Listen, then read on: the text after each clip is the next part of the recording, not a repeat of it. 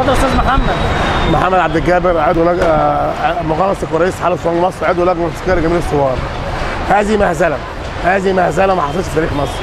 إن آه، الطيران الإسرائيلي يطير ويضرب جنود من الجيش المصري والجيش المصري ساكت لغاية دلوقتي ما خدش خطوة والثوار هم اللي بياخدوا خطوة وبيرفضوا الطريقين وأنا بطلب من المشير وبطلب من سامع عنان ان هو يطلب السفير الإسرائيلي من مصر. دول نجس. دول نجس أهلي نجس. دول اكل الخنزير الخنازير دول دول خنازير.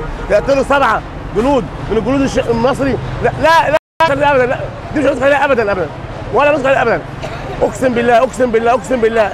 إسرائيل دي بالتف الشعب المصري يعني مش مش مش, مش هنعتصم لهم. إحنا هنروح لهم مشهد على تل أبيب. نقضي عليهم. مش الجيش المصري بتاعنا. إحنا قد إسرائيل وورا إسرائيل. أنا شمس الدين محمد منسق عام تحالف ثوار مصر.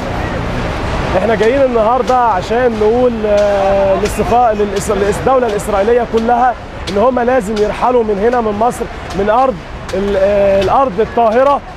ما يبقاش فيها أي نجس من ال- من أبناء الخنازير والقردة.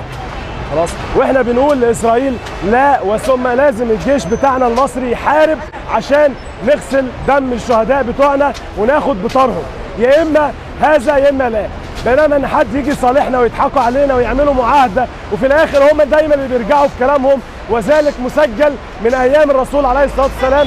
طول عمرهم هم اللي بيرجعوا في كلامهم وإحنا كل مرة بنقول خليها علينا خليها علينا. إحنا كده زهقنا خلاص ما عادش ينفع نقول لإسرائيل سماح إحنا النهارده لازم يكون لنا رد فعل قوي ضد هذا العدو الصهيوني الذي طغى ولم يجد أي رادع له. ونحن اليوم نقول له كشباب مصر نحن الرادع إن شاء الله. وشكرا.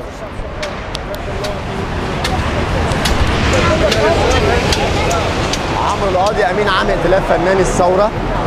إحنا جايين النهارده عشان نعبر عن موقفنا عن آه، طرد السفير الإسرائيلي للدولة الصهيونية خارج مصر وقف تصدير الغاز تعديل اتفاقية السلام ال- المشؤومة اللي جابت مصر ورا على مدار عقود آه، يجب التخلص منها وتعديل قانونها ودخول الجيش المصري آه، داخل سيناء.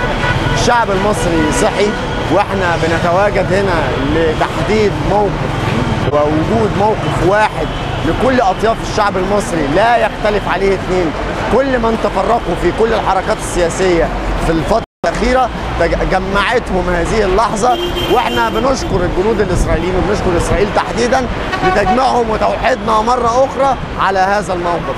وإن شاء الله هذا الموقف لن ينتهي إلا بأخذ الموقف الكامل من إسرائيل. إن شاء الله مع حرق العلم بإذن الله. شكرا. بعد كلمتي على طول ها؟